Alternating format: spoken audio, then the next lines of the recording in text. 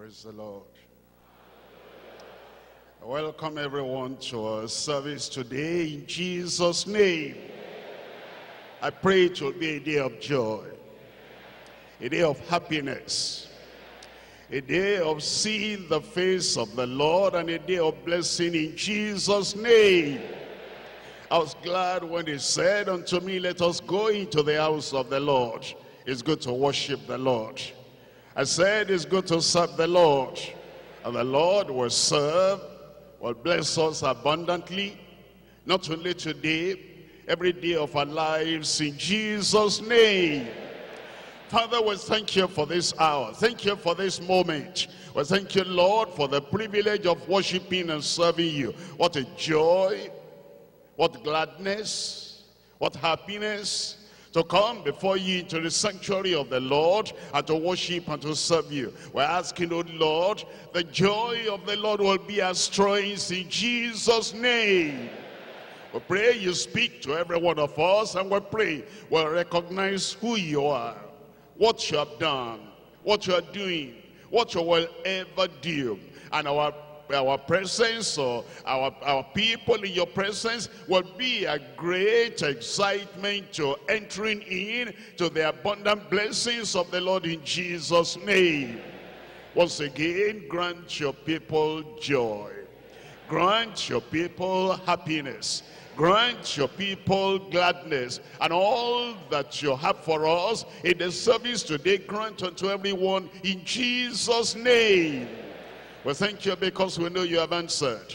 In Jesus' name we pray. And the people of God said, Amen. Thank you. God bless you. We can sit down. We're coming to Job chapter 41. Job chapter 41. We're looking at verse 11. Job chapter 41, verse 11. Who has prevented me? God was asking Job.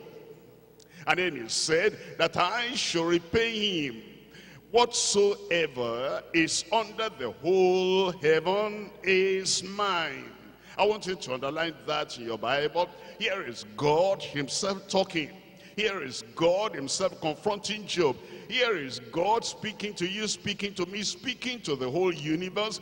Here is God speaking to the past generation and speaking to the present generation and speaking to every one of the face of the earth. He said in the latter part of verse 11, and whatsoever whatsoever, whatsoever is under the whole heaven is mine. Anything you can lay your hand upon, anything you can think about, even your very self, your very life, your very talent, everything you see, everything you think about, whatsoever is under the whole heaven is mine. Look at that statement and corroborate that what Genesis chapter 14 Genesis chapter 14, I'm reading from verse 19. Genesis chapter 14, and we're reading from verse 19. Here is um, Melchizedek blessing Abraham. And look at what he said about the Almighty God. He blessed him, and he blessed him, and he said, Blessed be Abram of the most high God look at God now look at God now the possessor of heaven and earth that he is everything in heaven everything on earth belongs to the almighty God is the most high God and is the possessor is the owner of heaven and earth. Why don't you go to verse 22 of that same chapter. In verse 22, and Abram said to the king of Sodom, Melchizedek has spoken, and then Abram now is speaking. He said, I lift up my hand unto the Lord, the Most High God. You know what Melchizedek called the Almighty God? The Most High God. And what Abraham called God? The Most High God. And look at this now. The possessor of heaven and earth. Abraham said, is the possessor of heaven and earth. And Melchizedek said, is the possessor of heaven and earth. Almighty God himself said, whatsoever is under the whole heaven is mine. Come to Exodus. I'm reading from chapter 19, verse 5. Exodus chapter 19, and we're looking at verse 5 you'll see the emphasis of the Lord himself is not talking to the whole nation, the whole nation of Israel. And he said, now therefore, now therefore, if ye will obey my voice indeed and keep my covenant, then ye shall be a peculiar treasure unto me above all people. Listen to this, listen to this. For all the earth is mine you cannot miss it. As you look at the whole Bible, Old Testament, New Testament, here is the indication we're given, and here is the knowledge we have that God is the possessor of all things. Let's look at, let's listen to Jesus now. We're looking at Matthew chapter 11. Matthew chapter 11, and I'm reading from verse 25. Here is the Lord Jesus Christ, and listen to his comment, and listen to what he said about God, about the Almighty God. At that time, Jesus answered and said, I thank thee, O Father, Lord of heaven and earth. Think about that. Owner of heaven and earth. The possessor of heaven and earth. The controller, the master, the Lord of heaven and earth. Because thou hast hid these things from the wise and the prudent. The wise and the prudent, that means the worldly wise people in this world. Is hidden from them they think they own that street. They think they own that land. They think they even own the whole country. And they think they own the whole earth. But Jesus said, the Father, the Father in heaven, the Lord Jesus Christ affirmed that God is a creator. And because it's a creator, is the Lord of heaven and earth. As we come to the end of the Bible, we're looking at Revelation chapter 4. Revelation chapter 4, and we're reading from verse 11. Revelation chapter 4, we're reading from verse 11. We read it in Genesis, then we read it in the middle of the Bible, Old Testament, New Testament. Now we're coming to Revelation, and we're coming to the end of the Bible. Uh, this is Revelation chapter 4, reading from verse 11. Thou art worthy, O Lord, to receive glory and honor and power. For thou hast created, tell me how many things there? Tell me, tell me, tell me aloud. For thou hast created all things, and for thy pleasure they are, and were created. That is in the mind of God, in the heart of God, in his innermost being, when he thought of creating the world, he created the world, everything in the world for his own pleasure. He created the world at that time, and even till now, even till now, it says, for thy pleasure they are, and were created. Today we're looking at the word of God on the divine ownership of all things. The divine ownership of all things. The Lord has told us already and the Lord has communicated with us already the very truth that everything on earth the man and the woman, the boy and the girl, the black and the white, the south and the north, and the east and the west, and the people in the past and the people at present, and the people that will ever come into this world, they were created by God for his pleasure. You are created for his pleasure.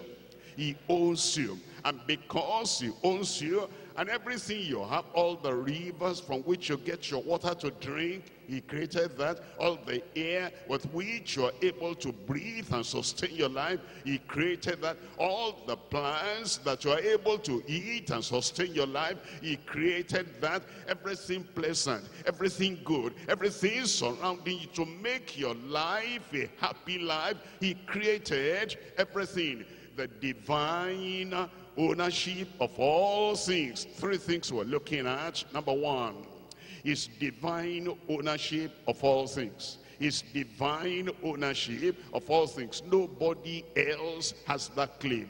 Satan does not have that claim. Evil spirits do not have that claim. Your people, your parents do not have that claim. You do not have that claim. No man, no minister, no preacher, no pastor, nobody has that claim. Nobody can lay claim on you that he owns you. He possesses you, and therefore you are his puppet. No, his divine ownership of all things. Number two, our double obligation before his throne. The implication that we're children of God, the implication that we're creatures of God, the implication is there is a double obligation. Because of creation, he created us. Because of redemption, he redeemed us, he saved us, he brought us into his family. Creation, redemption. Redemption, creation. He, he brought us into this world and he bought us with the precious blood of Jesus Christ. Because of those two things he has a double claim on our lives. And uh, yeah we have double obligation before his throne. Point number three the dutiful offering of our treasure. What's the implication that he created you you have to offer yourself unto him. What's the implication? That he created all the things on earth. Anything we have that we call treasure, he created everything. And we have the, the, the dutiful offering and com compulsion to give that treasure back to him. And any, anything we have, anything we own, anything we possess, there's the dutiful offering of our treasure unto the Lord. Number one, the divine ownership of all things. Number two, our double obligation before his throne. Number three, the dutiful offering of our treasure. We're coming to number one. What's uh, my number one over there? His divine ownership of all things. I pray God will burn this statement into your heart in Jesus' name. Deuteronomy chapter 10, we're looking at verse 14. Deuteronomy chapter 10, we're reading from verse 14. In verse 14, look at what it's saying here. It says, Behold, the heaven and the heaven of heavens is the Lord's thy God. The earth also, and all that dwell, all that are all therein is. You see what the Lord is telling us? Number one, the heaven and the heaven of heavens. Everything belongs to the Lord. And then he talks about the earth, it, the desert, the, the forest, the land, the sea, the ocean, everything we call the earth, everything belongs to the Lord by creation. That's just right. By creation, he brought everything to being. And then he says, with all that therein is, all that therein is, anyone breathing, anyone that has life and is living here on earth, the word of God assures us everyone belongs to God. Begin to think about it now, that you belong to God by creation. And if you are far away from God, if you're not touching God, if you're not linking up with God, if you're not connecting with God, something is missing uh, in your life because you belong to God by creation. We're looking at Exodus chapter 9. Uh, I'm reading from verse 29.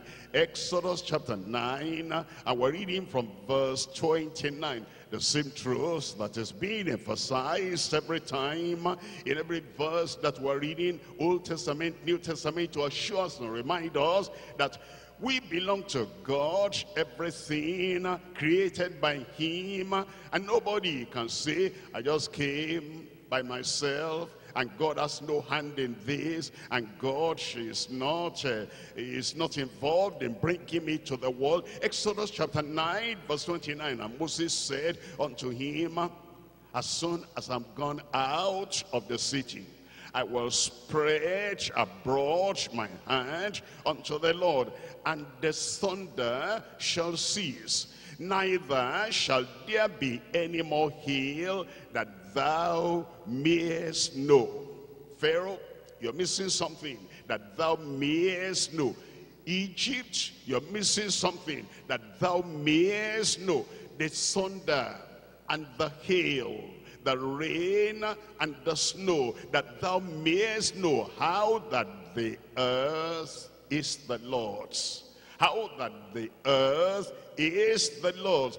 Pharaoh did not know that. Pharaoh did not know God. He said, who is that God? There are many people like that today in their emptiness, in their vanity. There are many people today in their upside down knowledge. There are many people today in their deep, deep ignorance. They say, who is that God? What's that God going to do? What does that God mean to me? That thou mayest know. He wants you to know by the things that happened to Egypt, by the things, the hail and the storm that happened to Egypt, and by the power of the man of God, Moses, to be able to stop that thing and to say, hitherto you reach and no more. And then he's talking to God about it. And it is so that you will know, that you will know that the whole earth belongs to the Lord. Have you thought about the things that are happening around? And have you imagined the things that could happen and the things that happen when we pray? Why is that happening? Why does God answer prayer? Why does God turn all those things around? And why does God say he has the final say? What's he trying to tell you? And what's he trying to convince you of that thou mayest know? In your little corner there, that thou mayest know, in your family there, that thou mayest know in your life that the earth is the Lord's. Everything belongs unto the Lord. I pray God will open our ears and to understand. It will touch our hearts so we'll understand that everything, everything, everything virtually without any subtraction, everything belongs to the Lord. In First Chronicles chapter 29, First Chronicles chapter 29.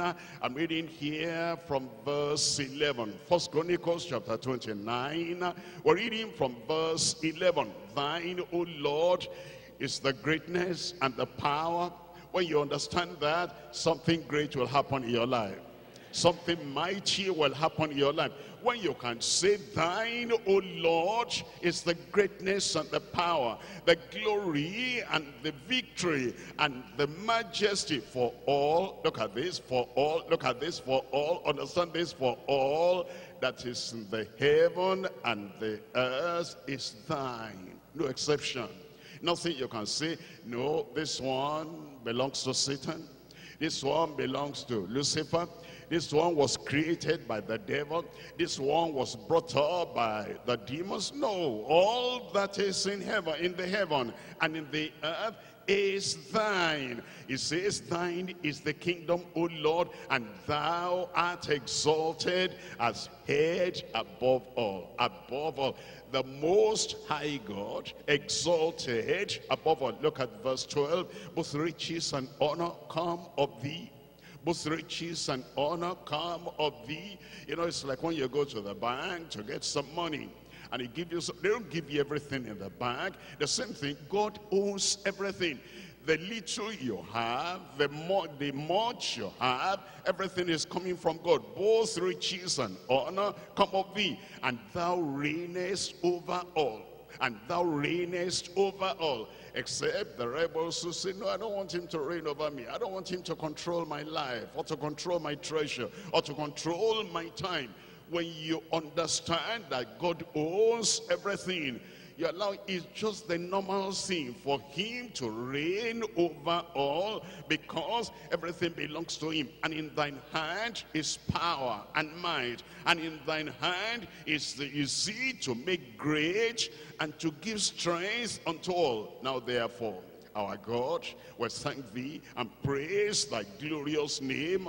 But who am I and what is my people that we should be able to offer so willingly after this sort for all things come of thee? Look at that. Everything we've offered everything we've given oh we cannot say i'm making a great sacrifice.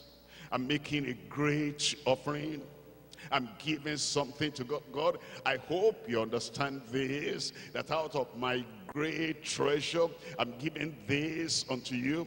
It says, but who am I? And what is my people? That we should be able to offer so willingly after this thought for all things come of thee, and of thine own have we given thee. Of thine own have we given thee. For we are strangers before thee and sojourners, as were all our fathers. Our days on the earth as a shadow, and there is none abiding, O Lord, in verse 16, O Lord our God, all this storm that we have prepared to build thee an house, it says, for, for thine, for thine holy name, everything cometh of thine hand, and is all thine own is all thine own. There's nothing we can push aside and say, well, God, you'll be surprised. You've never seen something like this. You'll be surprised. You don't know about this one. It says, no, everything is small and great, everything major and minor, everything belongs unto the Lord. Look at Nehemiah chapter 9. Nehemiah chapter 9. I'm reading from verse 6. Nehemiah chapter 9, verse 6. Everything belongs to the Lord. He might, uh, you know, give you some to, you know, be a caretaker and to, you know, control that. Have this in your pocket. Have this in your account. Have this in your house. Have this in your life. Hold on to it, uh, you know, until I tell you how I want that thing to be used. Everything belongs to God, even your brain even your mind, even your skill, even your knowledge, everything belongs to God. Nehemiah chapter 9, we're reading from verse 6. Nehemiah chapter 9, verse 6, Thou, even thou art the Lord alone. No, no competition with him, no comparison with him. Even thou art Lord alone. It says, Thou hast made heaven and the heaven of heavens that was made heaven and the heaven of heavens. And then it says with their hosts, the earth, and all things that are therein, and the seas and all that is therein, and the preservest them all, and the host of heaven worshiped thee. It says there's nothing you can, you know, say well, that's ocean. That one does not belong to God. Is this everything? Everything belongs to God. He wants us to wake up. He wants us to wake up and then to begin to realize that we need to use the word my, my, my less than before.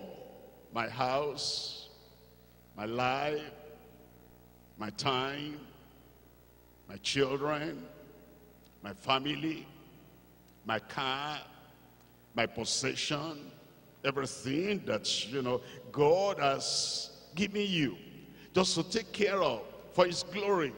Stop using mine. That thing belongs to him. And I pray you will make use of your life to the glory of God in Jesus' name. And the church said, Psalm 24. In Psalm 24, I'm reading from verse 1. Psalm 24, verse 1. The earth is the Lord's and the fullness thereof. The earth is the Lord and the fullness thereof.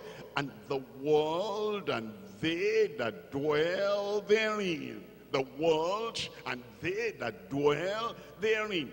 Everything and everyone. Everything belongs unto God. Uh, look at Psalm 50 I'm reading from verse 10, Psalm 50, verse 10. Here is the Almighty God himself talking to the people. He says, for every beast of the forest is mine. Think about that. God, even going to the animal creation, he said, Satan did not create that. And the chief in the village did not create that. And the king in the local government did not create that. He said, every, every beast of the forest is mine. And the cattle upon a thousand hills, everything his. I know all the fowls of the mountains and the wild beasts of the field are mine. They are all his. Look at verse 12. If I were hungry, I will not tell thee. He says, I'm not a beggar. I'm not asking, you know, give me this and give me this. If I ask for anything at all, it's for your good. I could take it without your knowledge. I could take it without your voluntarily giving it out. I can take your life. I can take your breath. I can take your family. I can take your possession because actually everything is mine and nobody can question me. Why God did you take that? What mouth have you got to question me because I own that and I only deposited it there and there and there and anytime I want to take it I go there and take it. In verse 12 if I were hungry I will not tell thee for the world is mine and the fullness thereof that's the almighty God reminding us again that everything belongs to him. I pray God will make us conscious of that every time I say God will make us conscious of that every time. And you know, there are people that are not serving God. And the reason they cannot serve God is, you know, uh, things are hard, things are tough. I need to go there. Uh, Sunday is a, is a day of marketing for me. And Sunday is a day when my contacts, business contacts, when they are all around and they are available. And if I, you know, go to church, the time I take going to church, and then I stay in the church for these hours, and then before I get back home, time is gone. Time is money and I must make all the money I can make they see that they are the people making the money and God said, but what are you making the money for? I created you and I want you to give me that whole day, one day in the week and serve me and then whatever is right to sustain your existence on earth, I will give you. So why are you abandoning my worship and then you are running after this and that?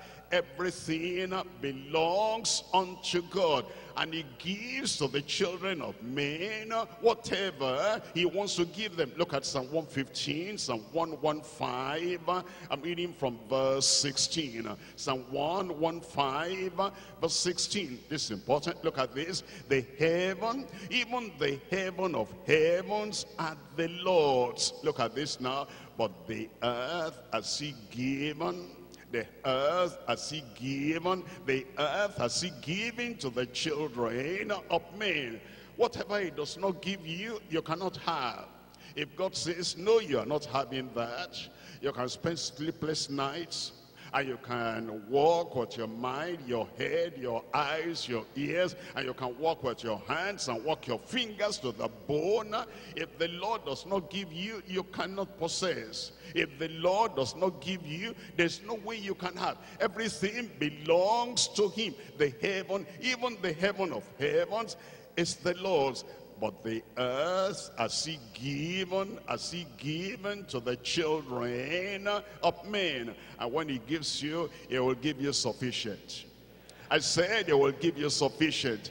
If you give him sufficient time to worship him, sufficient time to wait on the Lord, sufficient time to serve him, he will give you more than you will ever need in Jesus' name. We're looking at Isaiah chapter 66. Isaiah chapter 66, and I'm reading here from verse 1. Thus says the Lord, the heaven is my throne. Here is the Lord talking now. He says, the heaven is my throne, and the earth is my footstool. What is the house that ye built unto me? And where is the place of my rest? Is saying everything belongs unto him. How about money? How about silver? How about gold?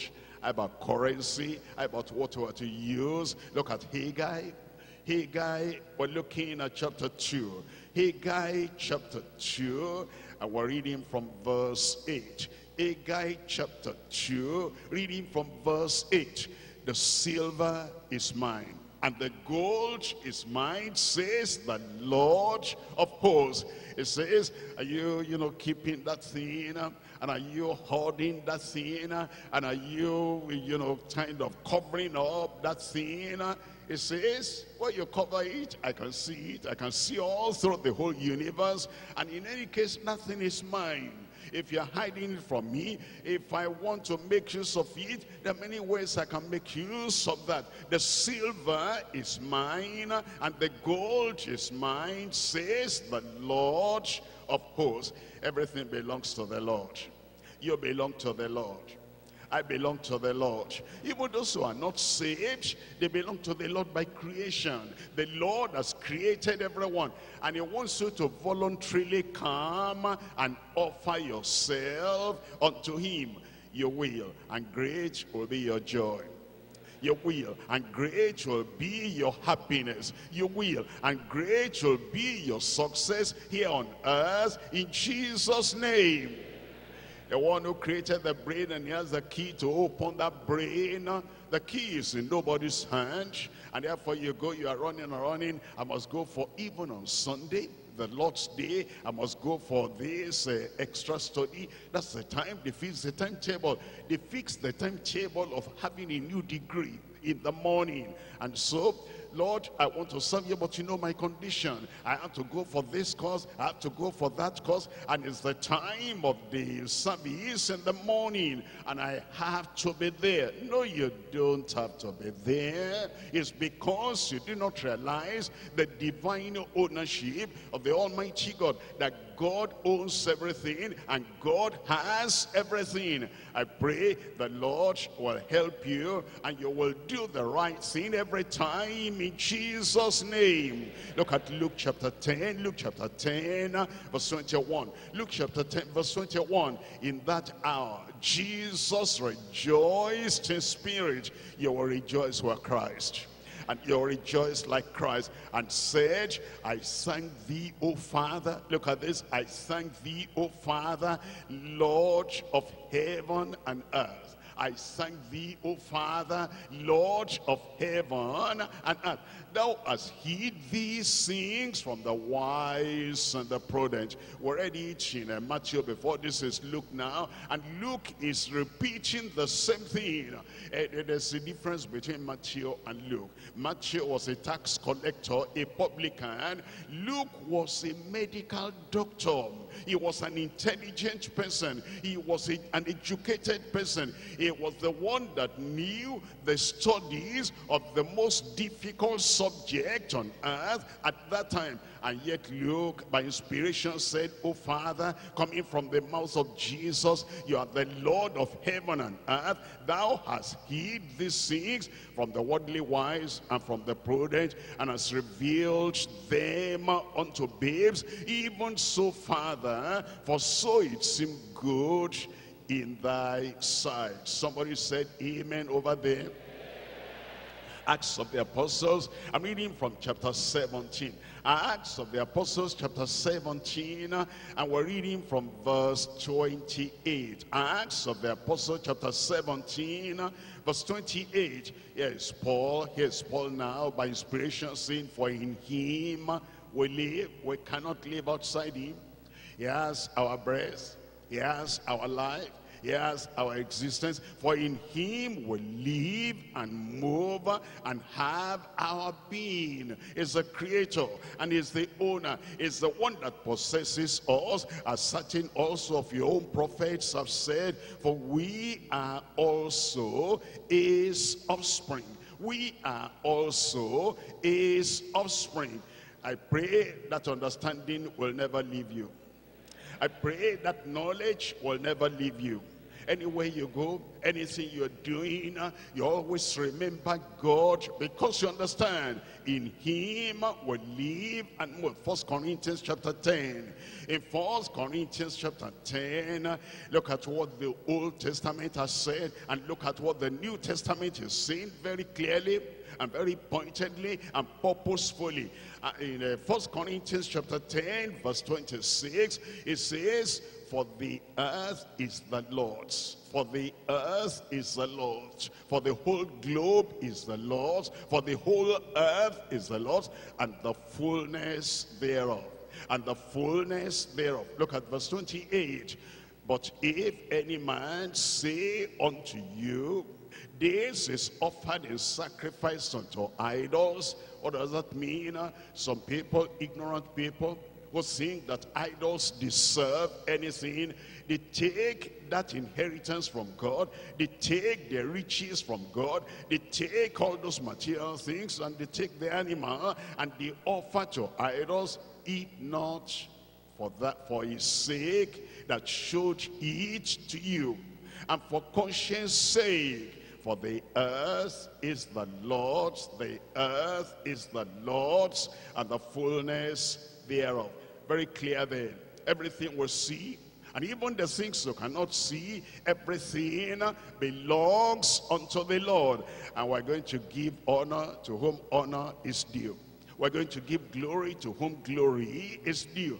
It belongs to him and we're going to act like that. You're not, you're not walking through the earth as if you are the possessor of the whole country and you're not doing whatever you want so to show that you are the possessor of the church of the living God. And then you're not staying in a corner somewhere and saying, hey, come over here don't go in there. Before you go in there, come and see me. Don't you know I'm the owner? Don't you know I'm the possessor? Don't you know that I'm the one that controls everything? No, you are not. The Almighty God does. And he has that prerogative that God is the owner of all things. And I pray you will give honor unto the Lord and you give majesty and glory unto the Lord as the possessor of all things on earth, all things in heaven, in Jesus' name. I'm waiting for another amen. Point number two now, our double obligation before his throne our double obligation before his throne. Why? What kind of obligation do we have? You cannot point to a sinner and say, well, he is not uh, giving honor to God, so why should I give honor to God? You cannot give, uh, you cannot point to a church goer and say, look at that church goer. He takes his liberty. Sometimes he's in their church, sometimes he's not in their church. Sometimes he decides only Easter he will go to church, only their Christmas time he will go to church. You cannot copy them because you understand, number one, by creation you belong to God. Number two, by redemption you belong to God. Number one, by creation. We're coming to Psalm 100. Psalm 100 and I'm reading from verse 3 to start with Psalm 100 we're looking at uh, verse 3 Psalm 100 verse 3 it says know ye it says you must know this one it is not something you will say well, it, is it optional for me to know it or not to know it? This is compulsory knowledge. This is what you must know. Know ye that the Lord, he is God. Somebody say amen. It is he that has made us. Think about that. Think about that. Without his making you, giving you a chance to live, you will not be alive today. It is he that has made us and not we ourselves. We're his people and the sheep of his pasture. That means then by creation you belong to him. By creation you belong to him. Ecclesiastes chapter 12. Ecclesiastes chapter 12. We're reading from verse, verse 1. Ecclesiastes chapter 12 verse 1. It says, remember, what's the next word there? Tell me, tell me. Remember, tell me, now thy creator in the days of the youth you know you see some misguided youths thank god for the youth in our church youths are you there this morning i said youths are you there this morning my, my voice was stronger than yours when I was a young person. Now give me a yes with a young voice. Remember now thy creator in the days of the youth. Young people, let me tell you, when you remember God, it will brighten your life. It will brighten your brain. You know, let me give you a little testimony. I was a youth too many, many years ago, just, just some years ago now. I was youth. Now, I'm still youth in my heart. Only my, you know, my hair has turned gray. And you, you see young people that have young heart, I have a young heart, a young mind, and I have a young zeal. And I pray that you will have the same zeal and the same heart I have in Jesus' name. You know, I was converted when I was in a school where they did not believe in God. And then after that conversion, I started teaching in that school. And the whole of Sunday I gave to the Lord. If we're doing anything on Saturday, and then they said, look at me, all the all the all the members of staff were there marking papers. We were doing something that the school wanted us to do, and they say we're go we're coming tomorrow. And then they'll say, we're going to be here at 9 o'clock, 9 a.m. And everybody is looking at my direction. And then now they'll mention my name and say, Mr. So-and-so, have you heard? I said, of course I heard, but you know, I'm not going to be here. I'm going to worship God. And our principal was there. He did not believe in God. And he taught everybody not to believe in God. But I stood out of the crowd. I was, I will keep on standing out of the crowd. I about you, my boy, my girl there, what will you do? You stand out of the crowd in Jesus' name. And then I will go and, uh, you know, come back on Monday morning. Uh, you say, did they dismiss you? No, they couldn't because uh, all that God gave me, I used for the young people. I taught class one, class two, class three, class four, class five, mathematics, and I taught everyone. And when they came out in their school side, they came out with distinction because God prospered the work of teaching in my hand. God will prosper you. And then I went, let me, let me help you young people. You see young people, they think, if I'm going to make it in life, I must sink myself into just what I want to do. I don't have time for church. I don't have time for salvation. I went to, you know, university with that same salvation. I went in with salvation. I came out with salvation.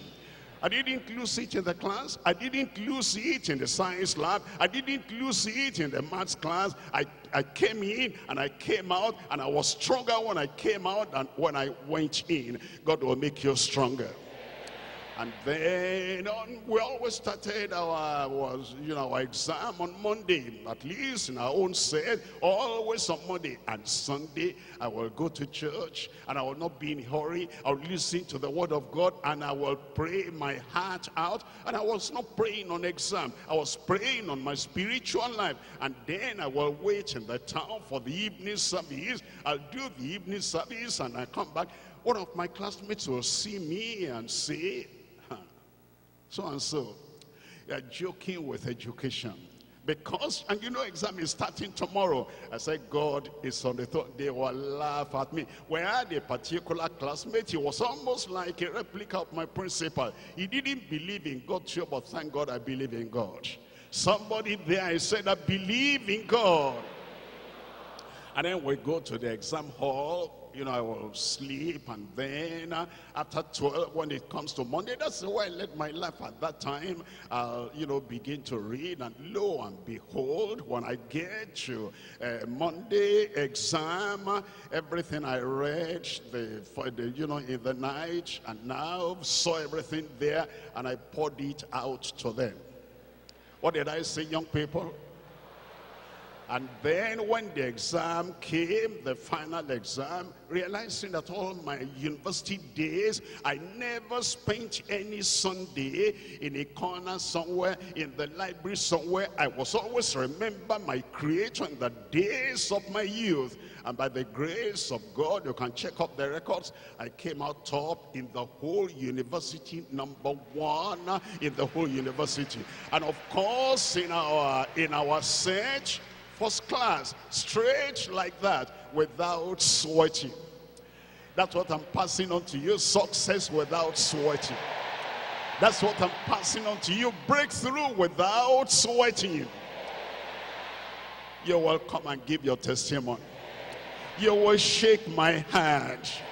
Remember, remember now thy creator in the days of the youth. You know, when you hear the word of God and then the prayer that is prayed over you, prayer must be answered concerning you. Success will come. Promotion will come. Power will come. And let me tell you another thing. All those three years, I'm just looking back now, I'm surprised. All those three years, there was no day I said, I can't go to class, I'm sick. I can't go to church, I'm sick. Well, you will remain well. Protection over your life. Preservation over your life. Parents, you are going to rejoice over our children. Look at verse 1, chapter 12, verse 1. Remember now thy creator in the days of the youth, while the evil days come not. Evil days will not come to you.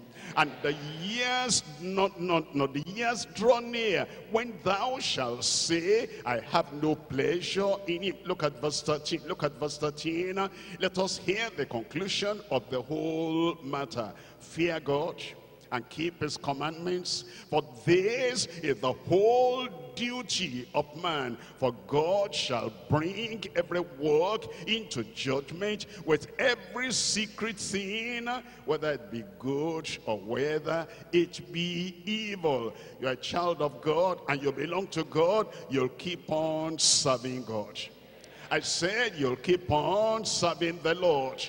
Look at Isaiah chapter 40. Isaiah chapter 40, I'm reading from verse 26. Isaiah chapter 40 verse 26, by creation you belong to God. By creation you are the property of the Lord. And God owns you by creation. Look at chapter 40 verse 26.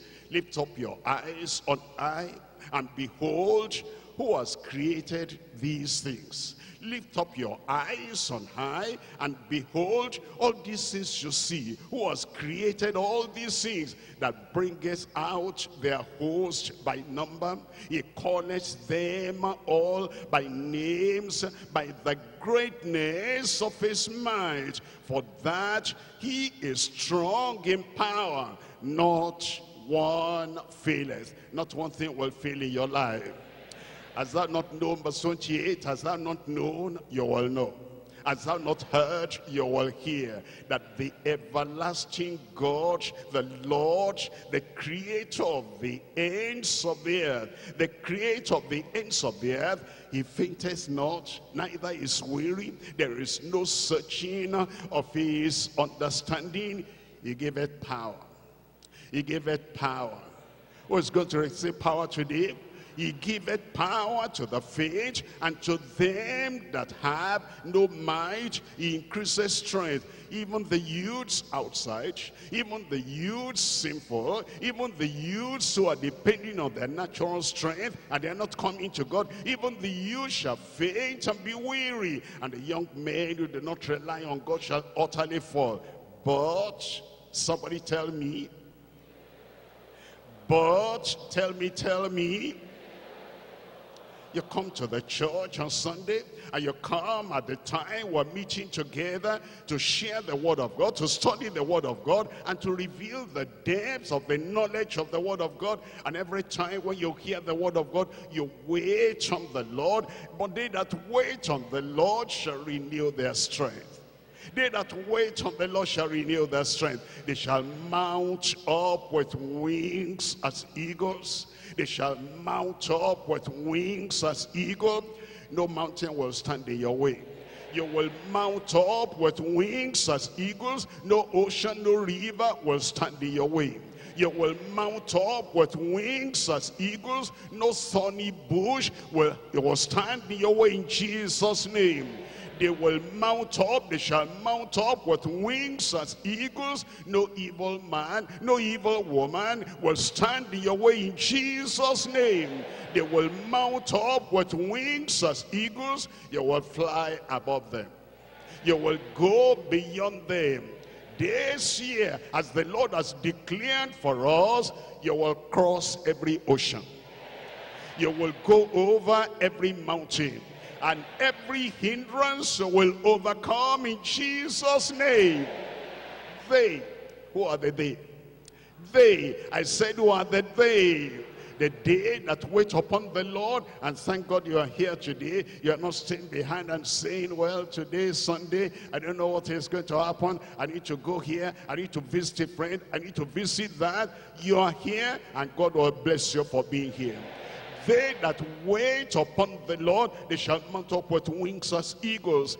They shall, they shall, they shall you know, I was reading the Bible, uh, you know, this uh, last week. Of course, I, I knew it before, but I was, uh, you know, reading for myself because I want to have new energy and new strength. And I was told, I, I read in Genesis, as those angels came and Abraham saw them, and Abraham was almost 100 years of age, he got up and he ran towards them. I said, what? A man of a hundred running that showed me today I can run. And then we're told, they said, please wait, let me make some, uh, you know, some meat for you. And they said, go ahead. And then he ran, and then he took a kid. And you know all those kids and those uh, small, small animals, how they jump and do dodge and all that. But uh, Abraham ran after them, and he got it. And very quickly, they made something for those angels to eat. I said, look at the man running. I thought I was going to slow down before, but no, I'm going to run now. Somebody that is going to run after me. Somebody that is going to run beside me. Somebody that is going to run ahead of me. It says they shall run and they shall not be weary. They shall walk and they shall not faint you know, uh, some, some people, they walk a little and then after two blocks, they sit down, they say, please, uh, you can go if you want to wait for me. And they sit down there and then they get up again and they sit again and then they, fainting has gone.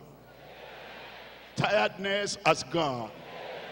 Power for everyone in Jesus' name understand our obligation. By creation, we have obligation to him. Number two, by redemption. Because of redemption, because he bought us and because he purchased us and because he saved us we have obligation towards him. We're looking at First corinthians chapter 6 First corinthians chapter 6 i'm reading from verse 19 and from verse 20 First corinthians chapter 6 verse 19 watch. Know ye not that your body is the temple of the holy ghost which is in you and ye have, which ye have of God, and ye are not your own.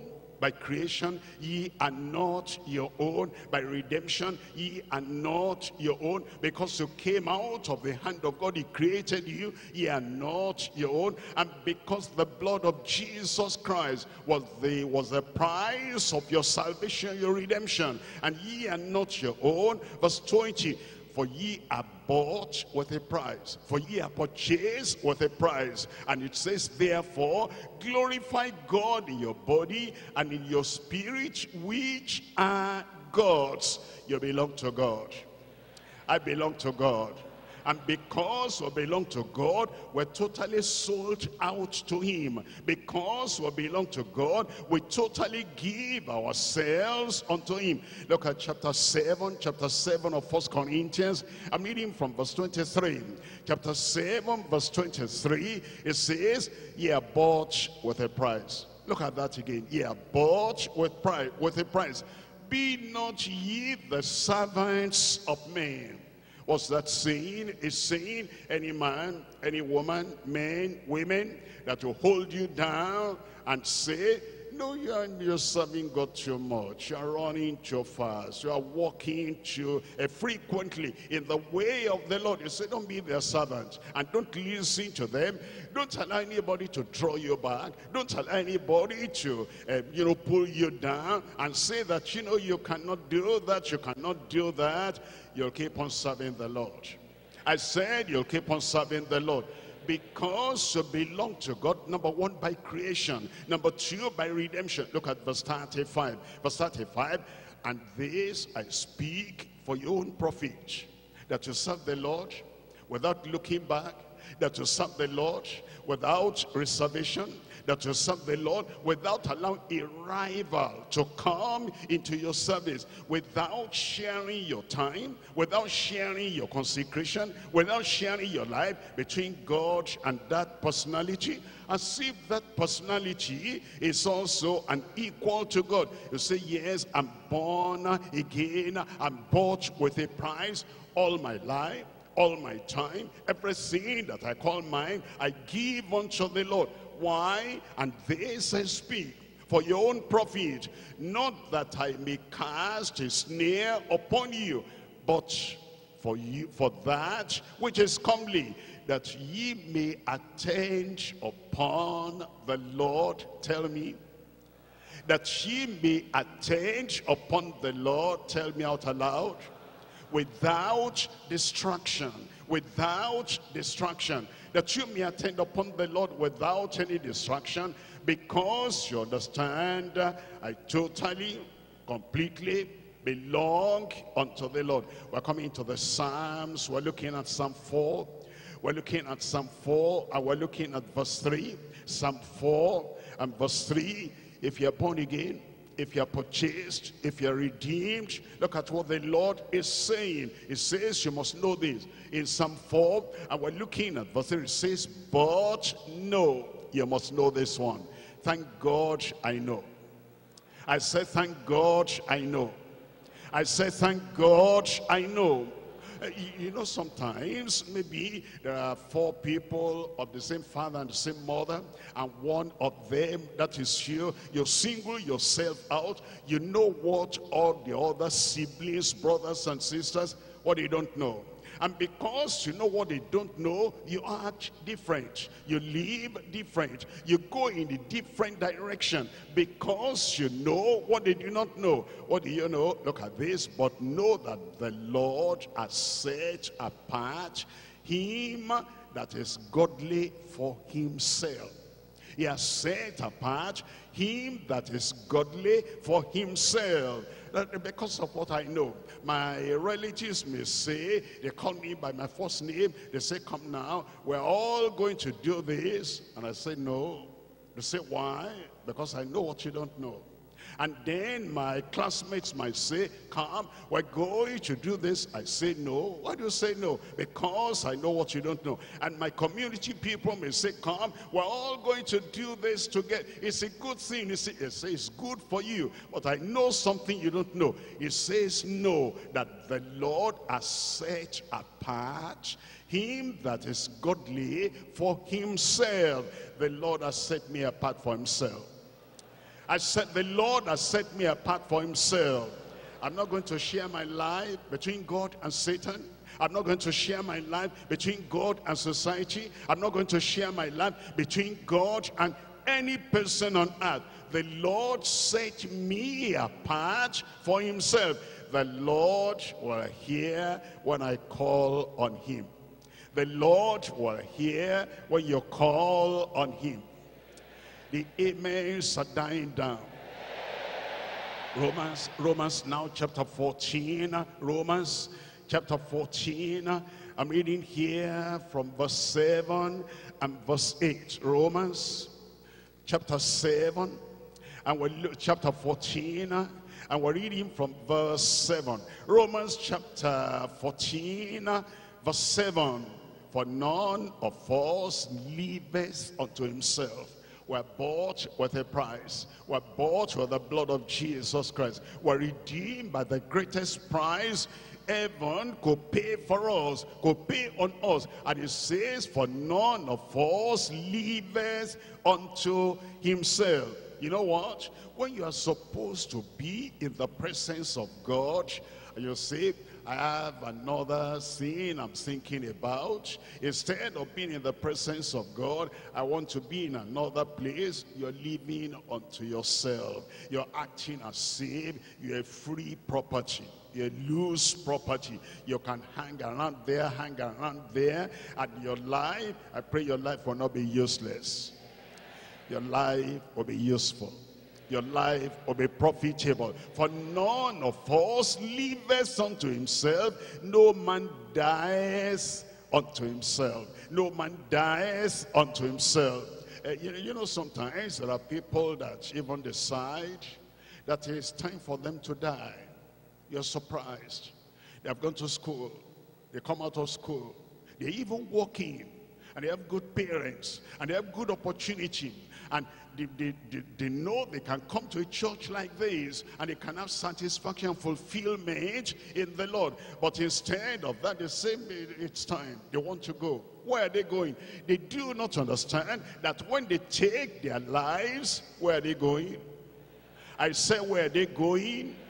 They think they have the control of their own life, of their own time. And it says, no man dies unto himself.